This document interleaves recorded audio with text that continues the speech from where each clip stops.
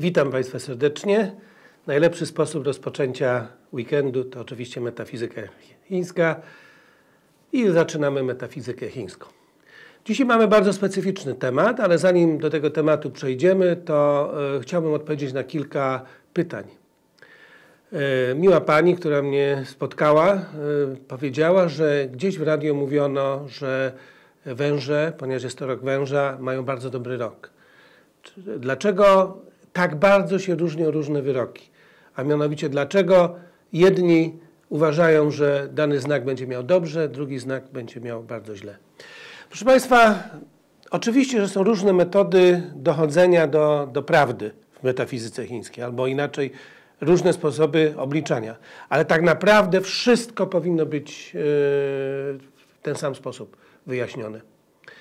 Ja mógłbym wykład zrobić, ale ten wykład już był. Które znaki danego roku mają źle, które mają lepiej, które mają przeczekać, a które mają działać. E, ale postanowiłem odpowiedzieć, a w zasadzie pani mnie prosiła, żebym wyraźnie powiedział, że węże mają zły rok, e, bo koleżanka słyszała w radio i to, co było w radio powiedziane, e, wydało jej się prawdziwe. Proszę Państwa, ja nie będę przekonywał na siłę, tylko ja po prostu siadłem do internetu i wynotowałem sobie pewne rzeczy z internetu, żeby była jasność i życie, praktyka życia odpowie nam, które znaki mają dobrze, które znaki mają źle.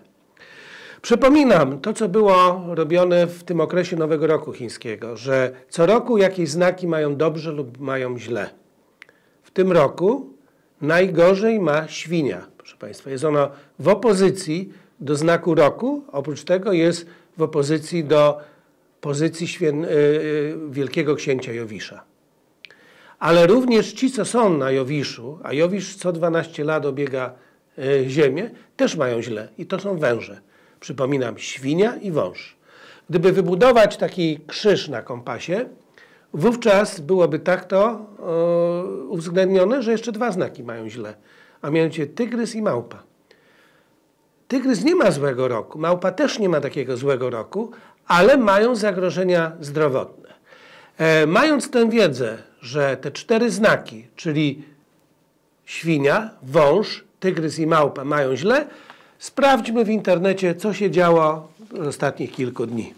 Wczorajsza strzelanina w Trójmieście, gdzie zginęła rodzina.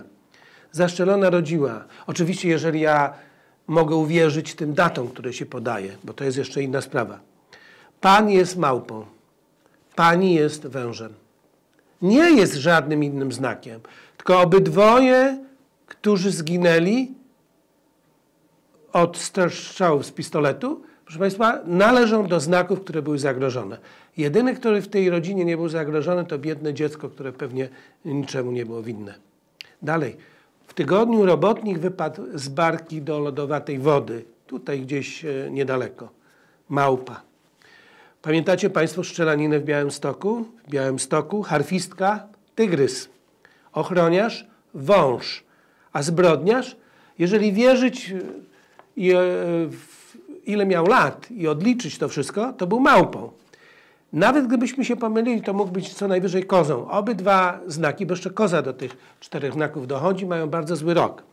A tu bym chciał powiedzieć, że tu za, zadziałała jeszcze jedna historia, a mianowicie tygrys, wąż i koza, to jest, i małpa, przepraszam, to są trzy znaki, które tworzą tak zwaną karę ognia. A więc w Białym Stoku, w Szczelaninie doszło do skumulowania tych trzech znaków. Nagle w jednej porze dnia się znalazły te trzy znaki i musiało dojść do tak zwanej kary ognia. Przypadek? Proszę bardzo, możemy tak myśleć, ale idźmy dalej. Wielkopolska. Na początku chyba tygodnia wypadek e, busa, szkolnego busa. Zginęła dziewczynka. Ile dziewczynka miała lat? Wszystkie podały, podały stację, że miała 12 lat. Czyli kim była? Wężem, proszę Państwa. No ale trzy dni później koleżanka, która była e, w tym, e, w tym autobusie również zmarła, z tym, że w szpitalu. Była kozą, proszę Państwa. Kolejne znaki. Dlaczego nie było tam szczura, nie było smoka, nie było e, psa, tych znaków, które mają mieć dobrze? Jedźmy dalej. Alpiniści. Tomasz Kowalski, tygrys. Oczywiście od razu jest pan Berbeka, to jest, był koniem.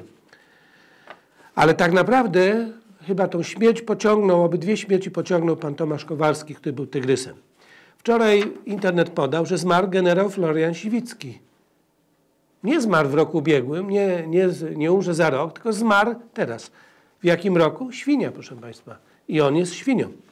Już mówiłem wcześniej, że zmarł arcybiskup Glemp. Był wężem. Pamiętacie Państwo też w środku tygodnia kierowca wyjechał z bazy na Brudnie i wjechał w jakąś tam barierkę, bo zmarł w autobusie, gdy prowadził. No, gdzie mamy szukać jakiego był znaku? Był znakiem świnia, proszę Państwa.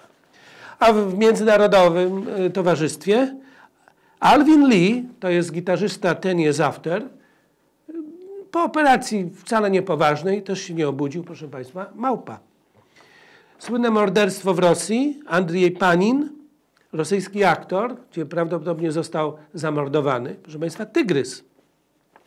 Pamiętacie, co było przed dwoma e, dniami? Jak policja goniła Audi, bo zaczęło uciekać i tam w Szarpaninie wypaliła broń służbowa, zginął policjant.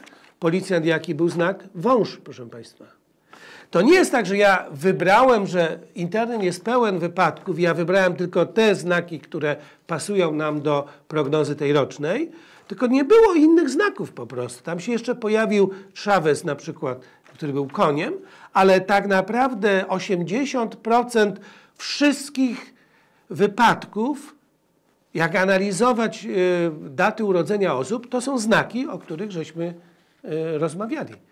Proszę Państwa, wierzymy w to, czy to nie wierzymy? Metafizyka po prostu tłumaczy. Ja nikogo nie chcę namawiać, żeby przeszedł na stronę religii chińskich czy jakichkolwiek innych. Chodzi o to, że rzeczywiście ma to swoje odbicie e, w rzeczywistości.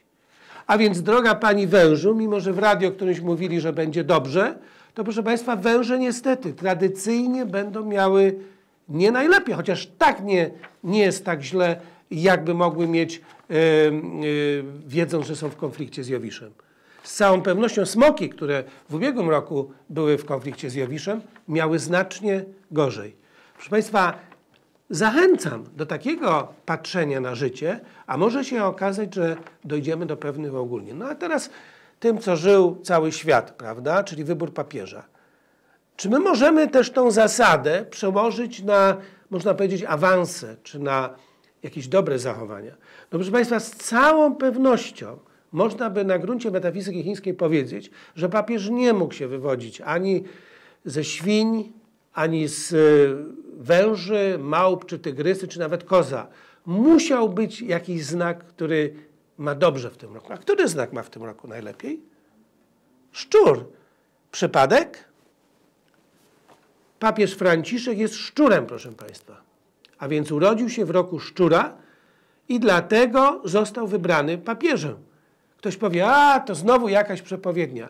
No ale zobaczcie, nie za dużo jest tych takich dziwnych zbiegów okoliczności, które da się wytłumaczyć w tej nauce. Proszę Państwa, może tak, tak powinno być właśnie, że został wybrany, bo ma jakieś tam dobre e, wibracje, które nim kierują e, w tym roku. Tyle, jeśli chodzi o sprawy aktualności, a teraz już przejdziemy do naszego normalnego e, cotygodniowego spotkania. Dzisiaj przyniosłem, proszę Państwa, bardzo fajne naczynie liturgiczne. To jest naczynie, e, bardzo trudna sztuka chińska, a mianowicie kamień łączony z metalem, proszę Państwa. Po co były te naczynia? No wie, e, wie, wiecie wszyscy, że Chińczycy mają talizmany, większość talizmanów chińskich to jest papierki, to jest na, napisane magiczne znaki na papierkach i je trzeba palić. To między innymi służyło do, żeby trzymać w tym prochy. Oczywiście okrągłe były dosyć rzadkimi e, takimi urnami, natomiast zwykle były podłużne i to w ten sposób się rozpoznaje e, kulturę chińską. Ale nie o tym e, dzisiaj będzie mowa. Dzisiaj będzie mowa o otoczeniu, proszę Państwa. No i chciałbym od razu rozwiać pewien mit, który wszędzie e, istnieje. A mianowicie taki, że ja ustawię w domu dobrze łóżko, ewentualnie w oknie powieszę kryształek, urządzę coś, pomaluję na jakiś kolor dom, tu ustawię drzewko, tam e, jeszcze coś innego i będę miał dobre feng shui. Proszę Państwa, obalam ten mit. aranżacja wnętrza to co najwyżej 30% feng shui. 70%, a kto wie, czy nie 80% znajduje się w otoczeniu. Otoczenie jest najważniejsze. Ale czy oni nie mają racji? Z punktu widzenia zdrowego rozsądku, drodzy Państwo, czy oni nie mają racji? Popatrzmy.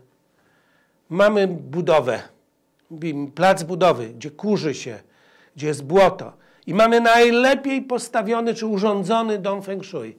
No nie da się tam żyć, proszę Państwa. Za każdym razem, jak otworzę okno, pyły mi wpadają. Jak wchodzę do mieszkania, wnoszę błoto, a więc to, co jest na zewnątrz, nieustannie przenika mi do budynku. To co to jest za feng shui? Jakie? Na pewno nie pierwotne feng shui. Pierwotne feng shui to jest feng shui, które bierze pod uwagę otoczenie. Mamy co najmniej kilka podejść do otoczenia feng shui. Ja takie podstawowe, które nie wymaga w ogóle kompasu. Okazuje się, że w dawnych, dawnych czasach były takie systemy, które w ogóle nie uwzględniały kompasu, które mówiły, że przód domu, tył domu, jedna strona, druga strona, bez względu na kierunki geograficzne. Kierunki geograficzne nie były wtedy takie ważne. I to jest właśnie jedna z technik ze szkoły form krajobrazowych, która ma związek pewien z kompasem, ale tak naprawdę może być używana bez kompasu. Przede wszystkim musimy sobie zdać sprawę, że klasyczna feng shui to nigdy nie było robienie feng shui. Proszę Państwa, co to znaczy zrobić feng shui? Jest takie powiedzenie chińskie. Widać feng shui, to znaczy, że nie ma feng shui. Czyli jeżeli nawieszamy różnych rzeczy, pokombinujemy nie wiadomo co, to znaczy, że nie było naturalnego feng shui. Ja pamiętam, jak robiłem kiedyś w Wiedniu komuś restaurację i było tak, że y, recenzent przyszedł po y, zrobieniu tej konsultacji, a nie wiedział, że była konsultacja, tylko przyszedł, żeby zrecenzować jedzenie i powiedział coś takiego. Już na kilometr się czuje, że było tu robione feng shui. I to było jako, proszę Państwa, zarzut do restauracji że oni nie będą dbali tak o jedzenie, bo oni sobie zrobili feng shui i uważają, że feng shui załatwi absolutnie wszystkie sprawy. Yy, I to było trochę racji, ten pan miał trochę racji. Budynek był fatalnie położony. Ja mówiłem, wyprowadźcie się, zróbcie gdzieś indziej firmę. Nie róbcie w tym budynku, bo nie źle położony. Oni tymczasem stwierdzili, że tam dobre są warunki ekonomiczne, że dobrze by było. Y, wzmacniała ich decyzję fakt, że obok był kebab i tam jemu się dobrze powodziło, ale tylko trzy miesiące te letnie w ciągu roku, bo niedaleko była uczelnia. I proszę Państwa, i w ten sposób, y, ale już zamknęli. Co z tego, że zrobili feng shui, jak byli w złym położeniu? Zrobienie dobrego wnętrza, aranżacji feng shui wcale nie y, pokona zewnętrznych kłopotów. Proszę Państwa, przede wszystkim trzeba powiedzieć, że jeżeli staniemy przed domem i w ten sposób wyciągniemy ręce, to mamy coś, co się nazywa jasny przedpokój. Jest określone są rzeczy, które powinny być w tym jasnym przedpokoju. Nie ma nic gorszego, jeżeli ktoś by do mnie przyszedł i powiedział, widzę, że pozostajesz w cieniu brata, siostry, męża, chłopaka, kogokolwiek. Pozostawanie w cieniu jest czymś złym. Proszę bardzo, macie pierwszą rzecz. Starajcie się nie mieć cienia na drzwiach. Cienia rzucanego przez jakiś obiekt, przez wysokie budynki, przez wysokie drzewa, że nasze drzwi są nieustannie w cieniu. Są cały czas poddane naciskowi energii yin, a tymczasem dla żywych jest bardziej potrzebna energia yang. Proszę bardzo, mamy coś takiego. Jasny przedpokój. Jasny przedpokój. Pamiętam, jak, y, jak się uczyłem feng shui, byłem w Malezji i rozmawiałem z jednym mistrzem, powiedział, wiesz co, wybrałem to biuro tylko dlatego, że zobacz, jaki ma jasny, niezablokowany przedpokój. Ten przedpokój, po angielsku się nazywa Bright Hall, to on nic nie mówi o wnętrzu domu. On mówi tylko o tym, co jest na zewnątrz. Nie wolno mieć zbyt dużo dominujących rzeczy, które są przed domem. E, musimy wziąć w opiekę teren przed domem. Zobaczcie, jaki robimy błąd podstawowy. A mianowicie kiedyś, o, będziemy nawiązywali do praktyki. jak miałem mieć konsultację w Siedlcach czy gdzieś po drodze Rejmontówka. Pojechałem obejrzeć Rejmontówkę. To jest dworek, który Rejmont za Nagrodę Nobla sobie wybudował. I proszę zauważyć, co było charakterystyczne w tym, że był mur, wielki wjazd na posesję, piękna aleja lipowa, która prowadziła do domu, który gdzieś tam w głębi tej działki osadzony. Z przodu przed domem było, była woda i mówiło się, że to jest klasyczne posadowienie domku, że on się wzorował na innych dworkach, które były nie tylko w Polsce, ale i w Europie. A dzisiaj jak się stawia dom? Przede wszystkim działki są znacznie mniejsze. Stawia się dom tak, jak nam każe urząd, a mianowicie 4 metry od linii zabudowy, w zależności czy jest przy jednej czy przy drugiej drodze. I my całą tą naszą intymność, całą aktywność chcemy wrzucić, proszę Państwa, na zaplecze domu, z tyłu domu. W ogóle nie mamy jasnego przedpokoju. Jesteśmy blisko ulicy, a sąsiad naprzeciwko ma e, wielopiętrowy budynek i ten budynek rzuca na nas cień, wszystko zależy od kierunku geograficznego. My o tym zupełnie nie pamiętamy. Już od razu wiecie, że jeżeli budujemy dom, to powinniśmy go co najmniej w środkowej części działki wybudować, a nie tuż, żeby oszczędzić teren z tyłu i z teren z tyłu sobie zrobimy wszystko co najlepsze. Kto tak budował kiedyś, proszę Państwa? Pamiętacie nasze dworki? Jest nawet książka z 1872 roku pana Ernesta Itela, misjonarza, który był w Chinach, opowiadał i o budownictwie, Chińczykom o budownictwie dworków i Chińczycy byli zachwyceni, skąd oni znają feng shui. Zawsze dom się wspierał o ścianę dębów, topól czy jakichś wysokich innych drzew. Z przodu miał zajazd, miał fontannę, czasami miał jeziorko. Wszystkie pałace, wszystkie y, dworki były w ten sposób budowane. Czy jest jakaś technika, która o tym mówi? Tak. I tą technikę, proszę Państwa, macie Państwo tutaj, na tym obrazku. Macie Państwo tą technikę na tym obrazku.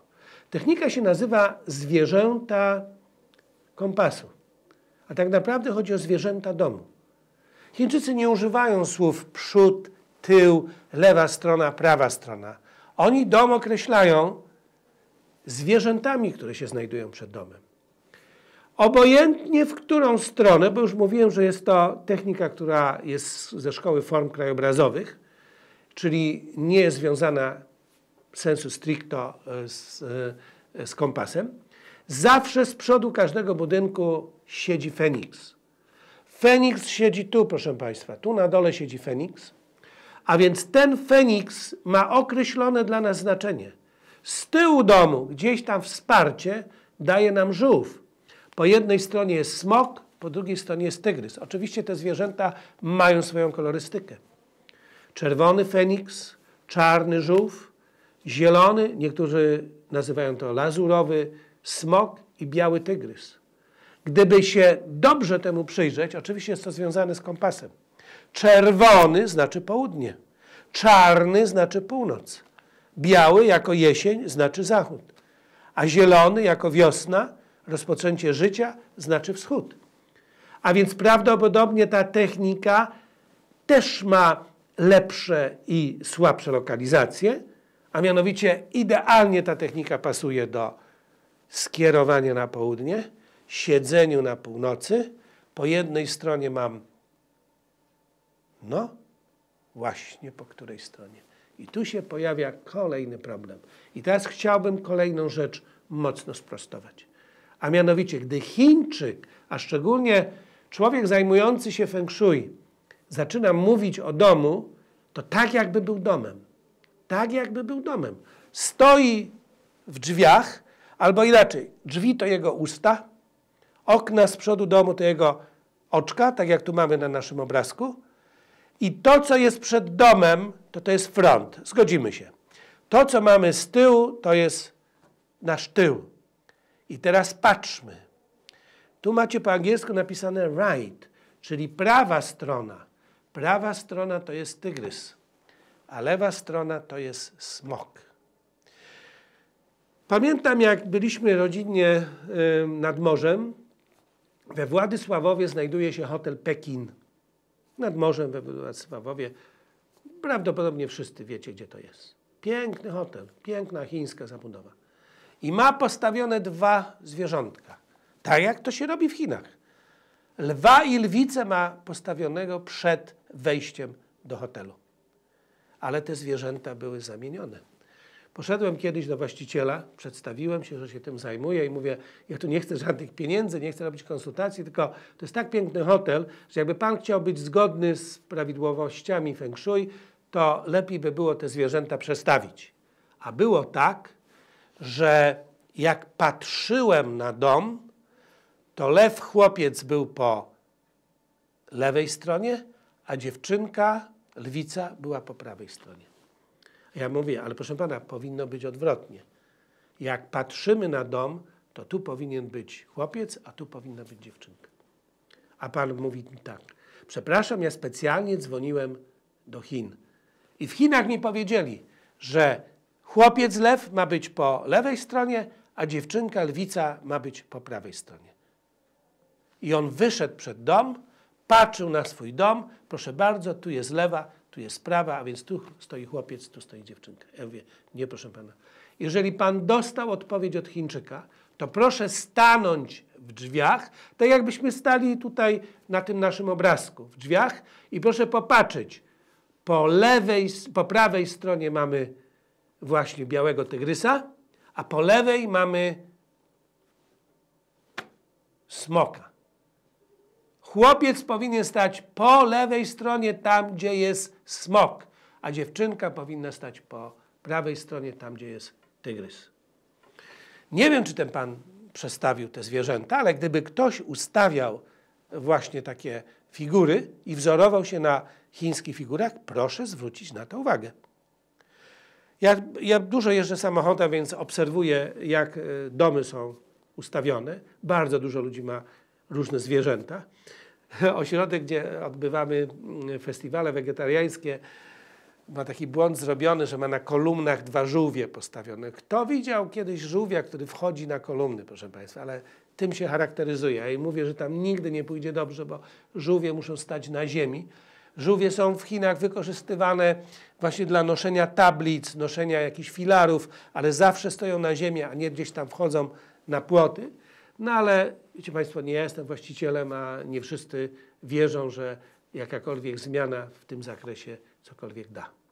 A więc proszę Państwa, każdy nasz dom ma dwie, y, cztery swoje strefy. Feniksa, żółwia, smoka oraz tygrysa. Wiecie, że oni nie używają w ogóle słowa prawy, lewy? Po co? ja uwielbiam tą chiński sposób nazywania Plac Niebiańskiego Spokoju. Nieważne, że szczelanina była, ale Plac Niebiańskiego Spokoju. Stale. Ja wolę chodzić nie do ubikacji, tylko do gabinetu błękitnych obłoków. E, jak to pięknie. Nazwijcie u siebie w domu e, e, ubikację, w zależności od koloru, gabinet różowych obłoków i mówcie. Idę do gabinetu różowych obłoków. Dlaczego nie? Oni pięknie nazywają pewne rzeczy. Naprawdę, proszę Państwa. No takie, to co zawsze się cieszy wielkim powodzeniem wśród słuchaczy, to u nas się mówi interakcja seksualna, akt płciowy, o Boże, współżycie. A jak mówią Chińczycy?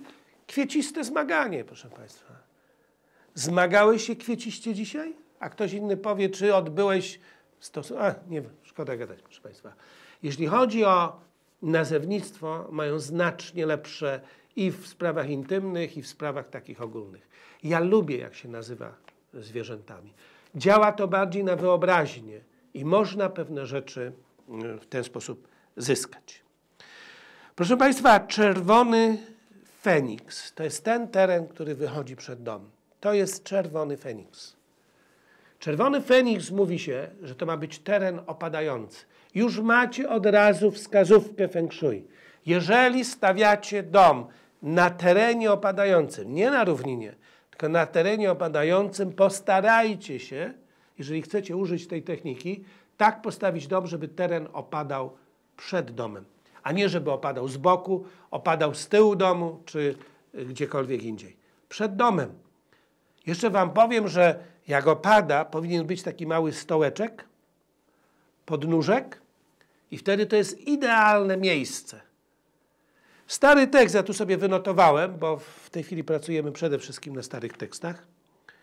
Proszę Państwa, było napisane: Otwarta przestrzeń przed domem winna pomieścić 10 tysięcy koni, a przepływająca w dole rzeka powinna być żeglowna dla wielkich łodzi. No proszę Państwa, to jest tylko stare, stare takie powiedzenie.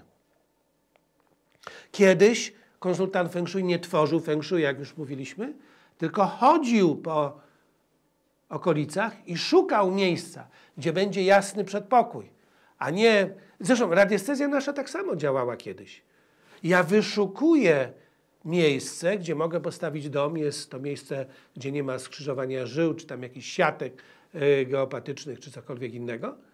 A u nas dzisiaj przychodzi się do domu, jest dom zastany i ja muszę z niego zrobić coś, co sprawi, że będzie to dobre, funkcjonalne. A czy naprawdę mamy takie możliwości?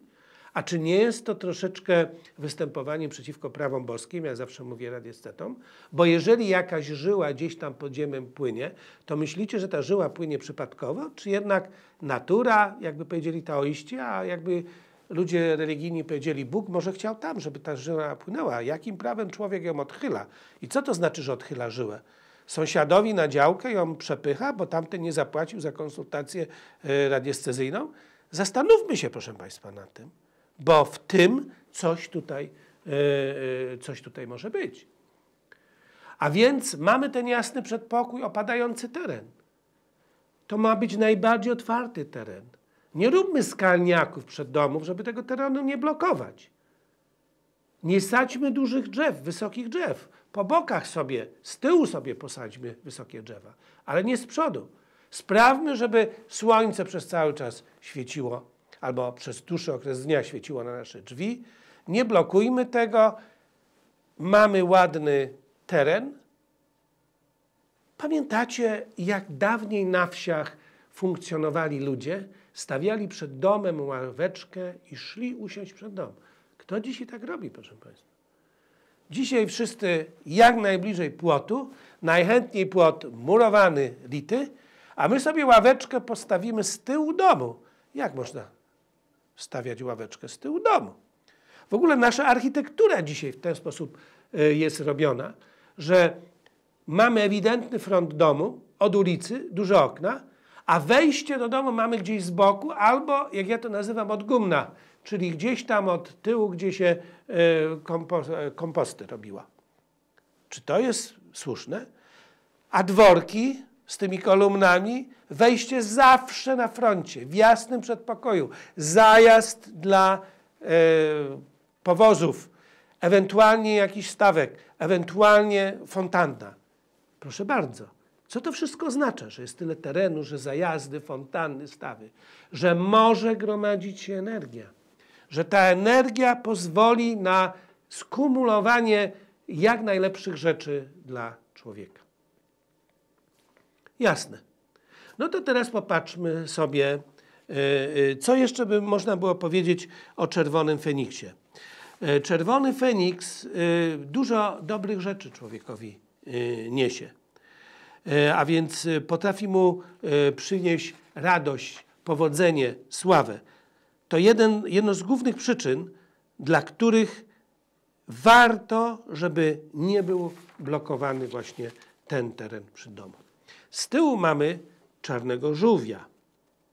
Mówi się, że tam z tyłu góry bronią przed złymi mocami, które chcą na nas napaść e, z tylnej strony.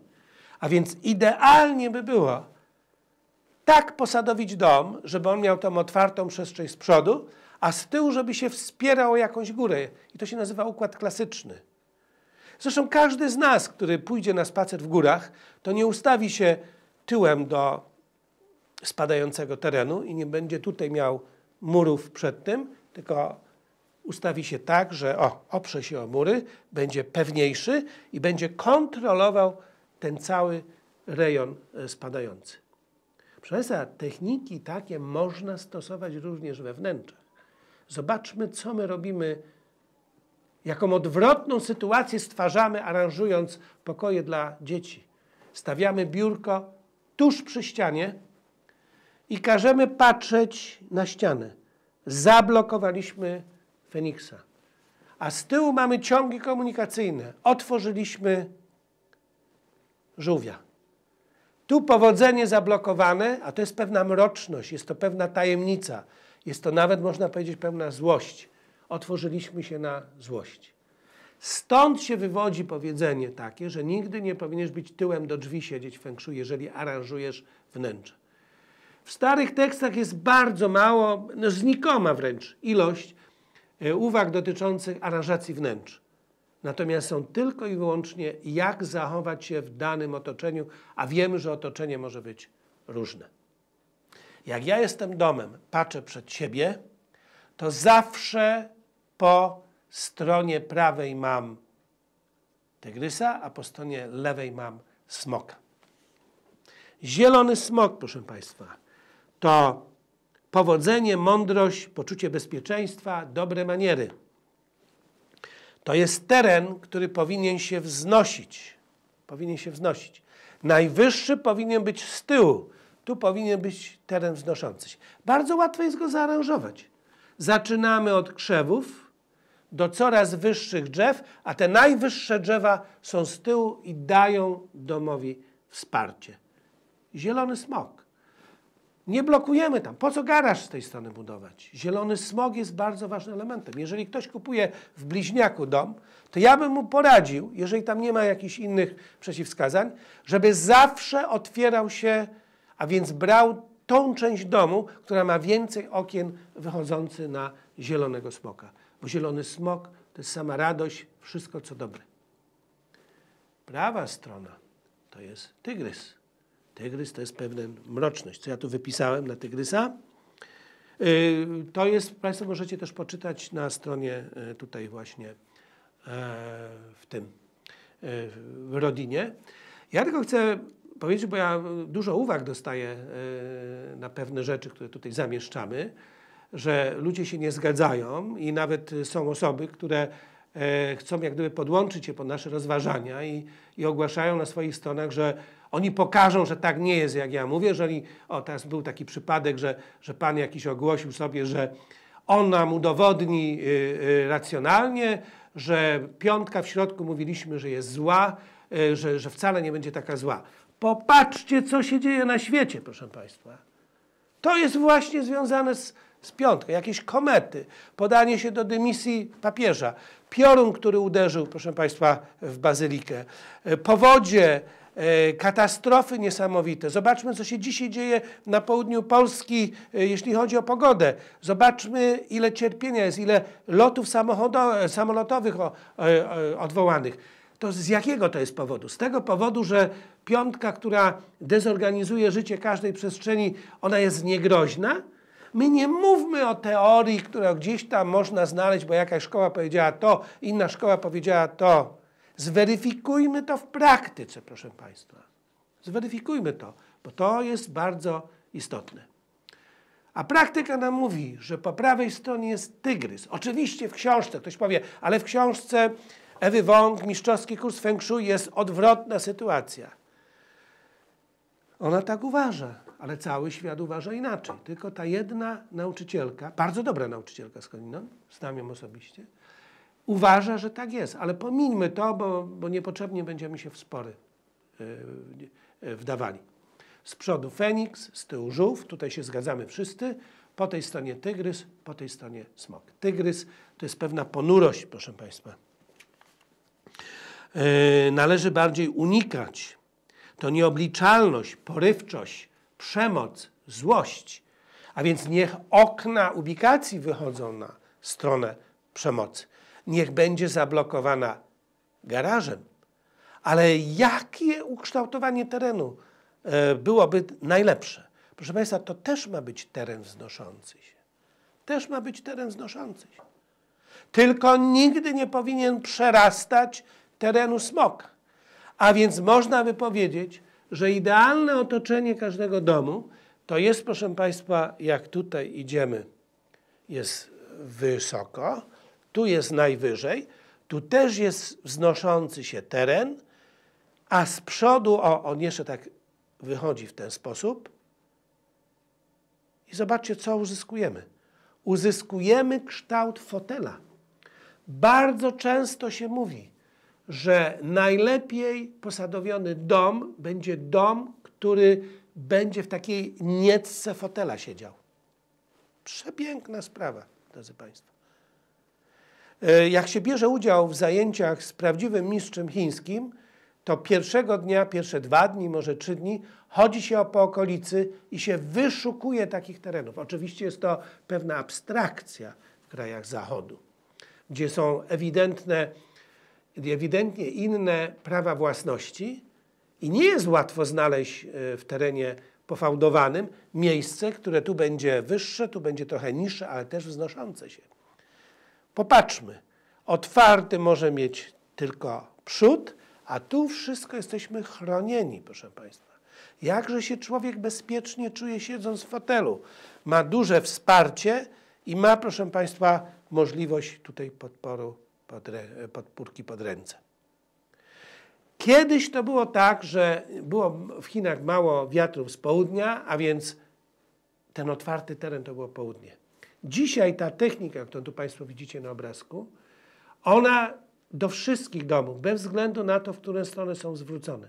A więc jeżeli ja jestem zwrócony na północ, to mój czerwony Feniks, mimo że on kolorystycznie nie pasuje do północy, bo północ to jest rejon wody i powinno być bardziej kolor granatowy czy kolor e, czarny, to jednak on też się znajduje z tej strony. A czarny żółw się znajduje z tyłu.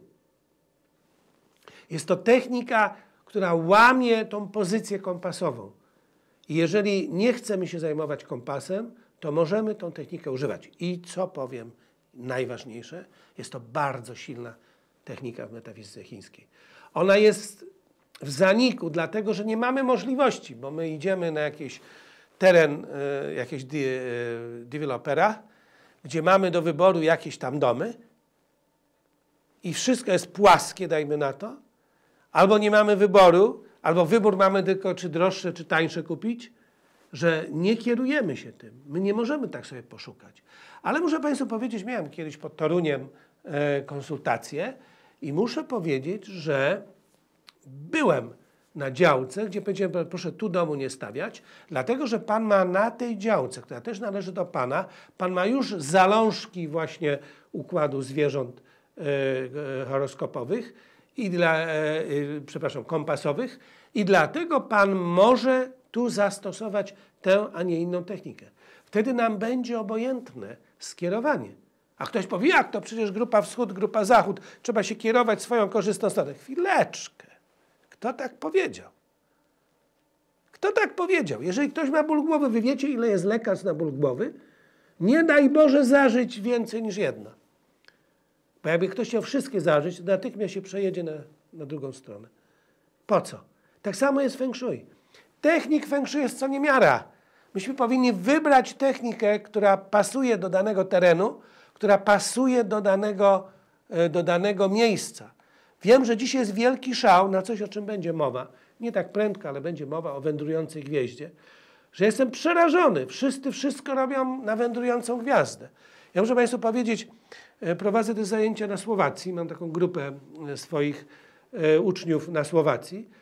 Oni mieli kiedyś jakiś Chińczyk. Chińczyk ich tak przekonał, że muszę Państwu powiedzieć, że pani wybudowała dom, że żadnego okna z przodu nie miała, miała tylko drzwi, miała wejście do domu ewidentnie od strony ulicy, od strony południowego wschodu. I ona nie miała żadnego tutaj okna. Okna porobiła tylko z tyłu. Dlaczego? Bo, bo w pomieszczeniach z tyłu były dobre gwiazdy, a ich uczył, że złe gwiazdy są wspomagane e, bardzo mocno przez okno.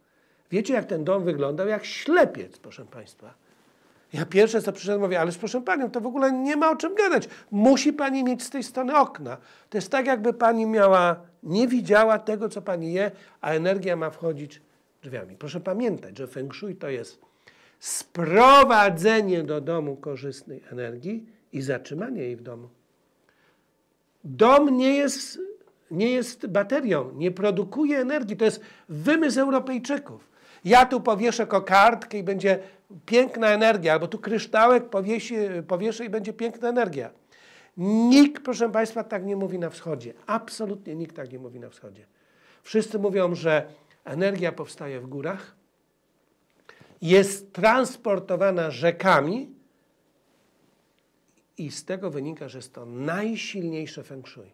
Najsilniejsze feng shui to jest feng shui właśnie wodne. Kończąc jak gdyby ten temat, bo jeszcze chciałem taki malutki temat też otoczenia yy, poruszyć.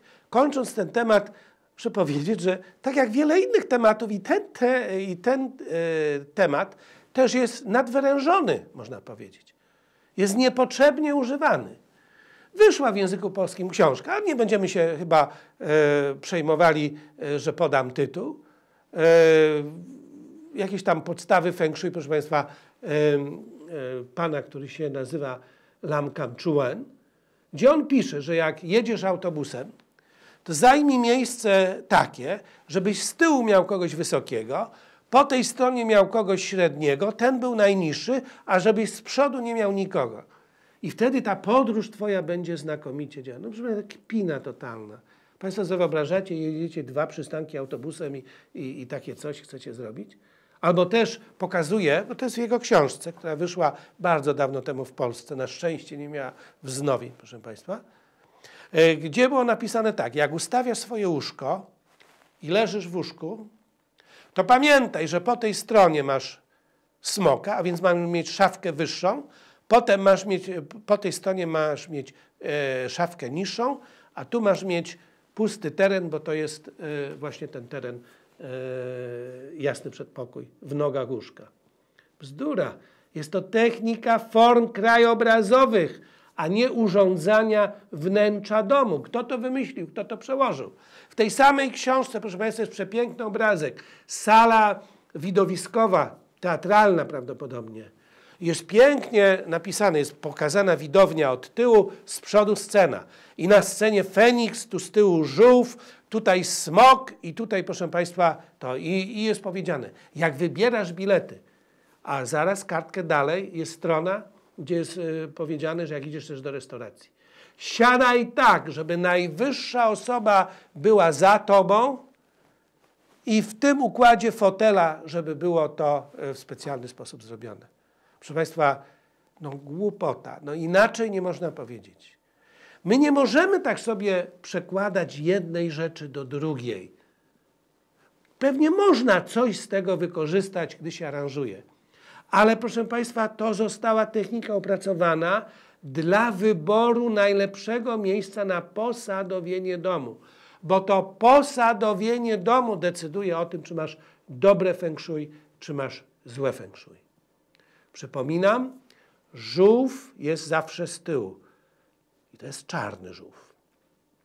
Ale z tym się wiąże inna sprawa, która nie jest przesadzona. A mianowicie ktoś uwielbia żółwie. Chce mieć w domu żółwia. Ktoś uwielbia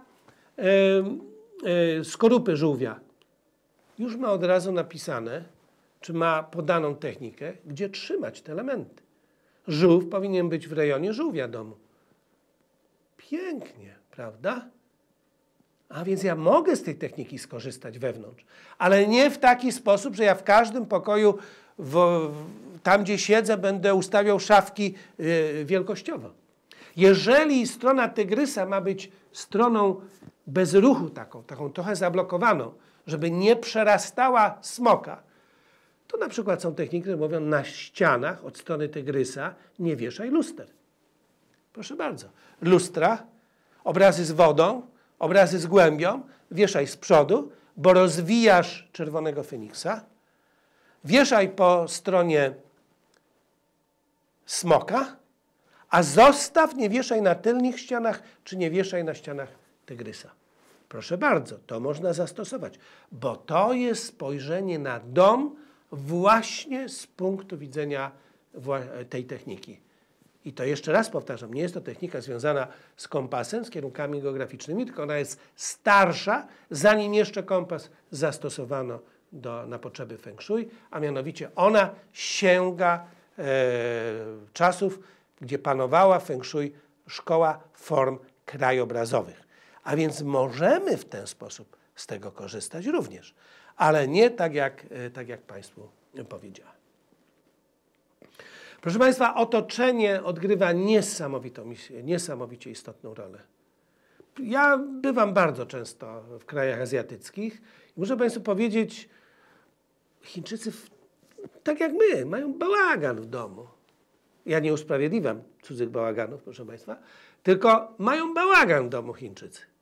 Natomiast każdy, kto wierzy w Feng Shui, co robi? Chowa zmarłych w zgodzie z zasadami Feng Shui i ma coś zrobione w otoczeniu. Ma albo wodnego smoka, albo ma zgrane z otoczeniem i tak dalej. Tu fajne otoczenie mają, prawda, proszę Państwa? To jest zdjęcie, które zrobiłem, to nie są Chiny, porządku, to nie są Chiny, to jest Malezja. To się nazywa Genting Heights.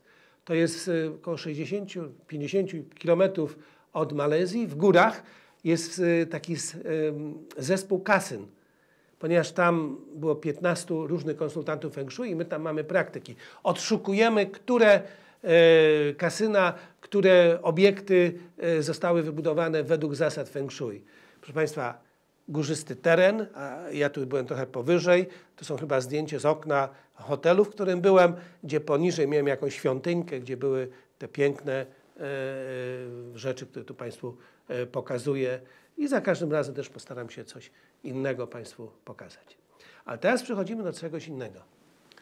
Tak naprawdę, gdybyście Państwo wzięli dzieło, starożytne dzieło poświęcone Feng Shui, to wiecie, że to są bardzo cieniutkie książeczki.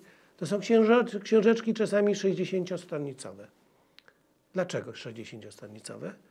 Bo proszę Państwa, one tylko pokazują pewne układy, pokazują mapki, gdzie mam wybrać jakie miejsce na postawienie domu. Zaraz te mapki nam się pokażą. O, mamy pierwszą mapkę z chińskiego dzieła, proszę Państwa, wziąłem. Te rzeczy, które macie do góry, to jest układ, proszę Państwa, gór. Z przodu też macie góry. Ale są mapki, które mają pokazane cieki wodne. Dlaczego ja o tych ciekach wodnych mówię? Bo na prośbę Państwa, to znaczy y, moich słuchaczy, moich uczni, specjalnie przygotowałem i to będzie chyba za, y, od tego weekendu za tydzień, specjalny kurs, proszę Państwa, studiowanie map wodnych. Mamy tylko siąść, przygotowałem, no, będziecie zaskoczeni, 530 mapek, 530 mapek, to jest to absolutnie wyczerpanie tematu. Nie ma tego w żadnych opracowaniach, nie ma tego nigdzie, żeby można o tym poczytać. Czasami się zdarza 10 do 20 mapek, ktoś to będzie. A już pamiętam, że pierwsze mapki pokazałem w roku 88 w takim czasopiśmie, który się nazywał Biuletin e, Bydgoskiego Stowarzyszenia Radiestezyjnego, gdzie, proszę Państwa, jest pokazane, nie przejmujesz się niczym. Patrzysz na otoczenie z lotu ptaka i wyszukujesz miejsca, które będzie Tobie przypominało jedną z mapek, które są w starych zbiorach. Jeżeli uda Ci się coś takiego uzyskać, zapomnij o reszcie. Zapomnij o żywiołach w domu, zapomnij o kierunkach korzystnych i niekorzystnych. Dom będzie czerpał tyle energii z otoczenia, że nie będzie potrzebował żadnej aranżacji wewnątrz. O czym my zapominamy. Wybieramy jedną, dwie techniki i tak naprawdę mądrość każdego konsultanta polega na tym, że idę w dany teren i czuję albo wiem, bo doświadczenie może mi podpowiadać, którą technikę jest najlepiej użyć dla tego domu, w tym miejscu i jeszcze na dodatek dla tych ludzi. Widzicie Państwo takie mapki? Oczywiście otoczeniu, gdy mamy otoczenie pofałdowane i gdy mamy wodę w otoczeniu, to z jednej strony ktoś będzie się cieszył. Się mówi czasem w podręcznikach, że Chińczyk nigdy by dobrego domu feng shui nie, nie wybudował e, na nizinach czy na, na, na, na, na płaskich terenach. Zawsze jest lepiej wybudować dom w terenie pofałdowanym. Feng shui powstało w górach, proszę Państwa, nie nad morzem. Ja się zawsze śmieję, jak przechodzę koło galerii Feng Shui i widzę, że delfiny, które wyskakują z wody, to te delfiny, proszę Państwa, e, pokazują nam e, właśnie, co jest dobre Feng Shui. A guzik prawda. Tu Państwo macie kolejny obrazek ze starego dzieła chińskiego. Autentycznie książka chińska, proszę Państwa. Udało mi się zeskanować. One są czarne czarno-białe. Proszę popatrzcie Państwo, jest pokazane, gdzie by było dobrze, żeby powstał dom. Czy Państwu to nie przypomina to wszystko, o czym mówiłem do tej pory? Z tyłu ma nawet nie jedną górę, tylko ma dwie góry. Oczywiście te góry się odpowiednio nazywają. Góra dziadka, góra ojca może być. Mogą być całe pasma, które wspierają. Popatrzcie, jakie mają z przodu dwa wyjścia. Mają smoka i tygrysa, które leżą. I z, jeszcze z przodu.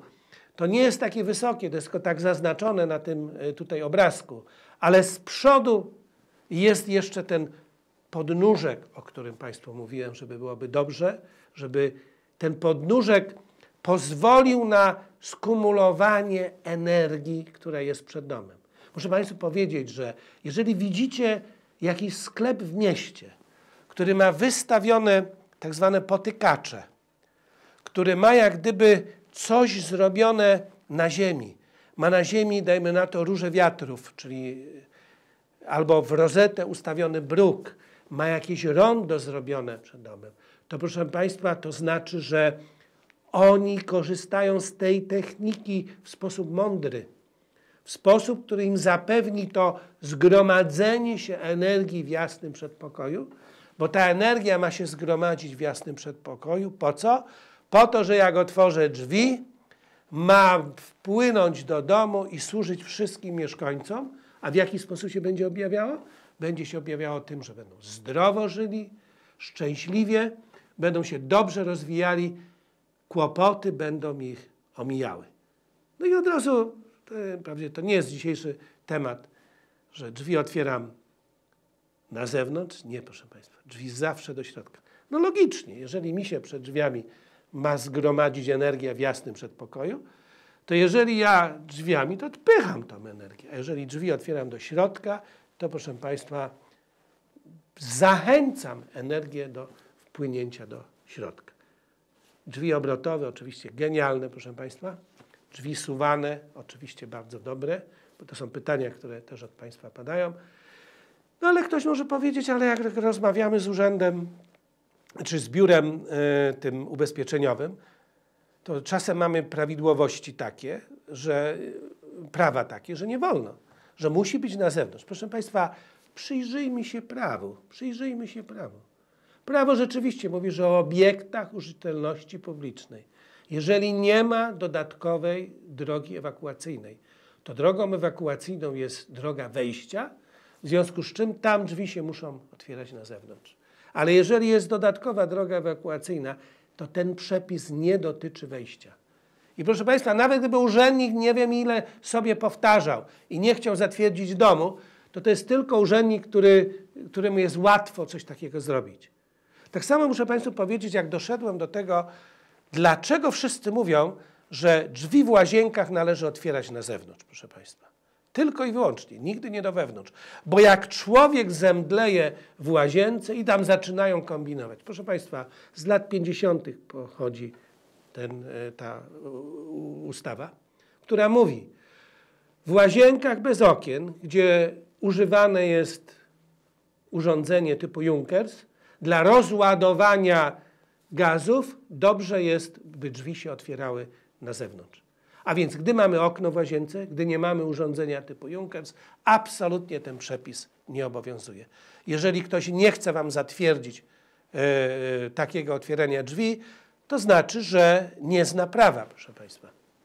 Tu macie kolejną mapkę, która jest, patrzcie jak pięknie napisane. To jest mapki, które są z górami związane, bo te z wodą to sobie zachowuję na, na, na, na, na nasze seminario dwudniowe, które będzie studiowanie 530 map, proszę Państwa.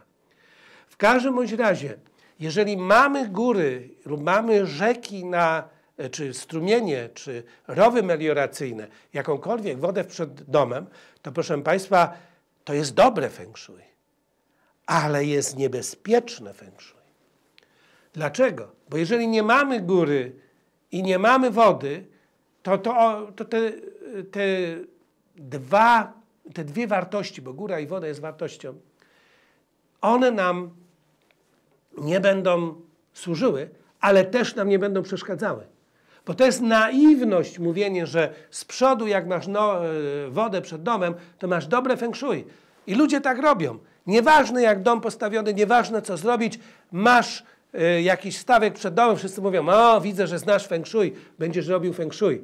Znam takiego faceta, który prowadzi ogrody feng shui. Nie ma czegoś takiego jak ogrody feng shui. Człowiek nie mieszka w ogrodzie.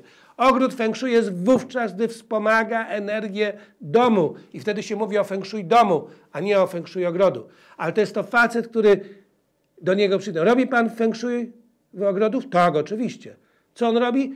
Tylko robi wodę z przodu domu. Nic więcej, proszę Państwa. On uważa, że to jest takie feng shui, że woda to jest powodzenie, pomyślność, feng shui, symbol dostatku i tak dalej. Będzie wszystko dobre. No bzdura. A jeżeli jest to, dajmy na to, rejon ognia, to co, woda gasi ogień. To już żywioły się nie liczą? Proszę pamiętać, że jeżeli mamy wodę z przodu, to woda może być obecna lub woda może być w przepływie. Może być, proszę Państwa, woda płynąca z lewej do prawej lub z prawej do lewej. Wszystko zależy na jakim kierunku.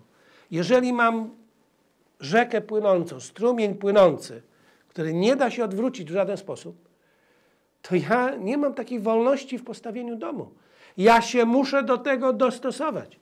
Tak samo jak mam górę gdzieś w otoczeniu, to ja muszę tak postawić dom, żeby mi ta góra nie znalazła się w rejonie domu, który jest uznany za zły, jeżeli tam znajduje się góra. To są formuły. Formuły dotyczące otoczenia. I otoczenie jest najważniejsze. Nie jesteśmy w stanie tym 20, no niech będzie nawet 30% feng shui, które jest w domu, zneutralizować zagrożeń, które płyną e, z, ze złego, można powiedzieć, otoczenia. Otoczenia był poświęcony taki jeden wykład, zatrute strzały, gdy, były, gdy uderzało nas coś, ale również otoczenia, które jest niezgrane z, z okolicą. I proszę Państwa, ktoś powie, no ale dzisiaj już nie mam, co to za techniki? Jakieś góry, jakieś rzeki, to są takie kiepskie techniki, bo dzisiaj to jest nie do wykorzystania. To może w Krakowie albo w Zakopany można z tego korzystać, ale u nas poznańskiem albo tu warszawskim, proszę Państwa, nie można z tego korzystać. Hola, hola. To nie jest takie proste, drodzy Państwo. Czego mamy dzisiaj w nadmiarze w miastach? Ulic. Sznur samochodów płynie ulicą. Ulice traktuje się jako ciągi, jako cieki, można powiedzieć. Ciągi komunikacyjne to nic innego jak cieki. A więc one też muszą być zgrane z moim domem. Mamy wysokie budynki, mamy, mamy czasami potężne drzewa, mamy wieżowce. Czy to wam nie przypomina gór? Czy to są znakomite góry? A więc te stare mapy dotyczące otoczenia, to nie, że one nie, nie są aktualne i że one nic nam nie mogą e, pomóc w naprawie feng shui naszego domu. Wręcz przeciwnie.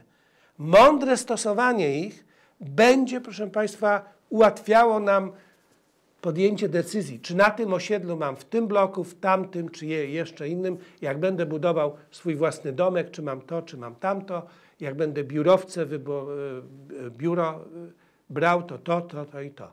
A wędrującą gwiazdę to sobie zastosujecie, jak będzie całkowicie płaski teren. Proszę Państwa, co dzisiaj usłyszeliście, to jest prawdziwe feng shui. To jest feng shui początkowe, bez kompasu, ale jest to prawdziwe feng shui. Jeżeli jesteście zainteresowani takim prawdziwym feng shui, ale nie tylko feng shui, astrologią, badzi, numerologią, czytaniem z twarzy, metafizyka chińska w piątki na rozpoczęcie weekendu w telewizji Rodin jest najlepszym na to programem. Zapraszam Państwa i nie możecie tego pominąć za tydzień. Spotykamy się za tydzień o 17.30. Dziękuję uprzejmie.